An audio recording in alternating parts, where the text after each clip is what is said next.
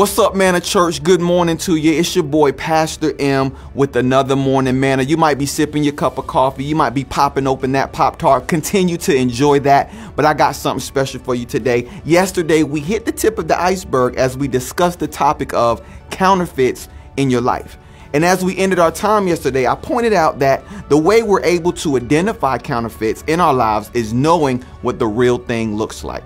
And I wish I could say this for everyone, but I know it not to be true for everyone, but I know many of us can think of a friend who is close like a brother or close like a sister. You have your falling outs and disagreements on things, but just like family, you're able to forgive and forget, and you all get back to a place where you're in good standing with one another. And that's how it should be. That's real friendship. I had a friend growing up, and we're still friends to this day. And he would always say this in reference to his younger cousins that got on his nerves sometimes. He would say, I gotta love them, but I ain't gotta like them. I'm commanded to love, but liking them is something different. And if we're gonna be a friend to someone, we have to give and display love without conditions, no strings attached. It's easy to do for others when they do for you. It's easy to show love and adoration towards others that show that to you. But what about when it's hard to love someone? When it's hard to treat someone the right way because they've offended you? Will you still show love towards that person? Well, that's real love. And God Himself models this real love towards us a forgiving, gracious, unconditional love that we are supposed to show and model to others. Paul writes to the Romans this in Romans chapter 5, verses 7 through 11. Now, most people would not be willing to die for an upright person, though someone might perhaps be willing to die for a person who is especially good. But God showed his great love for us by sending Christ to die for us while we were still sinners.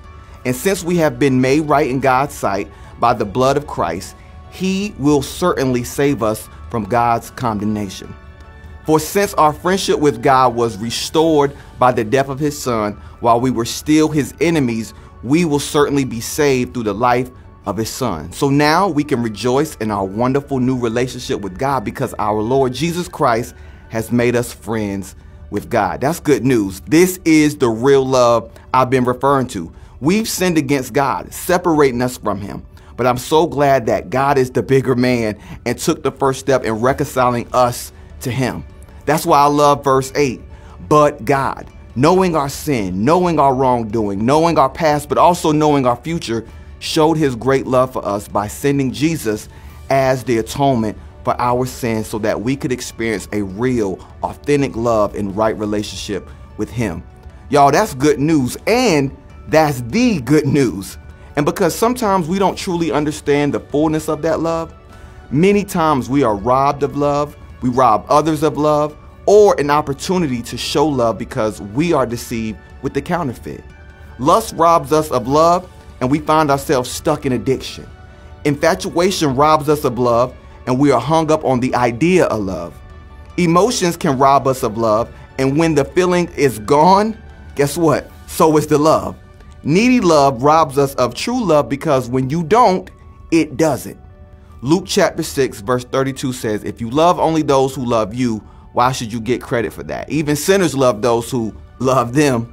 When we truly grasp the magnitude of God's unconditional love towards you and I, and that becomes your model of love, what your words, actions, and motives come from, then you will fully be able to have and give authentic love, avoiding all other counterfeits. Manna Online, thank you for tuning in today. I love you, and I mean that for real. Join me back here tomorrow for another morning manna. Have a blessed day.